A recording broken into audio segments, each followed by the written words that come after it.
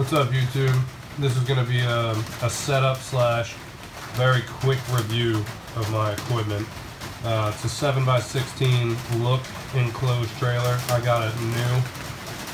Um, it has trailer brakes. It seems to work very nice. This is the left hand side of it. I have the Skag 52 inch Tiger Cat right here next to it. So I pretty much butt up the mower to the left hand side. So as soon as I back out, I have access to all my tools and the trailer I never really cleaned it out after setting it up. I have a nice walkway right here. So the hand tools. This is my favorite weed whacker ever. It is a RedMax and the number is 230 and it's fantastic. It runs like a champ. It's a great um, ratio of power versus uh, weight and I love it. This here is a RedMax multi-tool. Here's the number on it. I have uh, currently I have the stick edger on it. Over here I have I guess it's a four foot extension. I've got the the hedge trimmers the pole saw. And I guess that's it with, with the extension. And it's been pretty good. Um, that machine as well as this edger, it's the commercial edger that they have. And it's a, uh, here's the numbers on it. But they haven't really been that great, to tell you the truth. This one has been crap. Um, I think I did one hedge job with it, and then the carburetor came out of adjustment. I brought it back there. There's two emissions plugs that they have to pull out and adjust. They tuned it right back, and it's lasted for like three hedges. Then it comes out of adjustment again. In there, the EPA-proof things, and uh, you can pull the plugs out and get a little flathead in there. But it's a super pain in the ass. It's um, a bullshit carburetor, and I think he said that they're the same engine, and they both had the problems. That now the hedger is kind of screwed right now. I probably just need a new carburetor for it because it comes out of adjustment that that often. But the multi-tool um, seems to be working pretty good, and it hasn't needed to be adjusted in a while. This is before I had my lawn business. I had um, this weed whacker just for personal use around my house and it's good. I mean, it, it's light, um, wasn't that expensive. It's the uh, 2350S. And it's not bad. The only complaint that I have about it is sometimes right here, the spark plug, uh, my forearm uh, touches that and it gets kind of hot right there versus whatever this setup is. Uh, I kind of use my forearm as leverage when weed whacking different ways and it doesn't get hot, so that's great. But that, that's a good um, good backup to have, or if I bring anybody with me, works good. Um, so I bungee tied them to the walls just so they don't, uh, uh, so just so they don't really go anywhere. Uh, got the um, shovels, rakes. Uh, that that Stihl chainsaw. I used to work at a small engine shop that uh, sells or sold Stihl and I picked this one up for a good deal new and it oh man I just love the Stihl chainsaw. You it's like the gas just doesn't go bad in them. They start every time. And uh, same thing with that. Plenty of power. I love it. It's a 16 inch MS250 um, love that chainsaw. So then we have this blower. It's the the 7500 and I love this blower too if you look at one of my other videos I take this and I'm on a skateboard and I point it backwards and floor it and it uh, it gets me going real fast on the skateboard. It's super powerful. It's great. It starts every time. Runs like a top. Uh, love it. So I have that hanging on the wall with some hooks right here. And then I've got this just in a uh, something like that to keep it vertical, just to keep the space down. So I have a nice walkway through here. Sorry, the lighting's shitty. I guess I could open up the trailer. It's starting to slow down raining. Um, so here's the the Skag Tiger Cat, 52 inch. I like it a lot.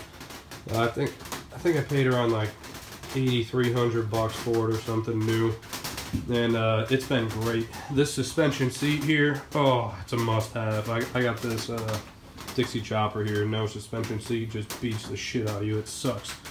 Um, but yeah, this it's got these uh, anti-scalp wheels here and over there, and I think one in the back, maybe maybe two in the back. I don't know. Um, you gotta watch it with this thing. It'll, it'll scalp, and I know the wider the deck, the easier it is to scalp. But uh, I don't I don't scalp with it anymore. But when I first started cutting, you know, I did a couple good scalpings. But I like it. The thing's great. It's um very well built and solid. I haven't had any problems with it. Don't have that many hours on it. I only cut like 10 yards right now just because uh, it's kind of like my third job. Um, so here is the Dixie Chopper. It's a 34 inch. It has a 27 horsepower Generac on it. Um, th this one is the the Kawasaki. It's a, a 22 horsepower. I just can't see that.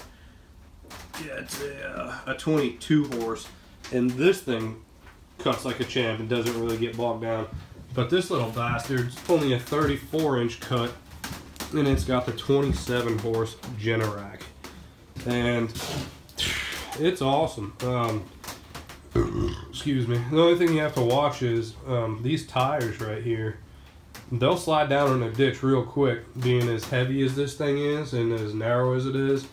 And I guess that the way that the treads go, like this, they'll uh, they'll slide down like this Skag. I can get a, uh, I can get kind of ballsy with it. It's got the the super wide back tire, or you know, the standard width, and it uh, it'll take a an incline or a pitch, whatever you want to say, very well. Versus this one, not so much. But I got it just to go in. Uh, pretty much to fit through any fence gate and it does that well. I, I really don't have all that many yards that I use it on yet. It's a, a little bit of an older machine. I traded a guy on the fire department um, couple firearms and a couple dollars and uh, I have about 3,000 in money value wrapped up in it. So I think I did pretty good. I think they're around 6,500 new and they sell for around 3,000, 3,500, you know, depending on the shape. This one's in uh, in good shape, and it's only got 240 hours. I'm not sure what the Skag has. I haven't looked in a while. It's probably around like 40, maybe.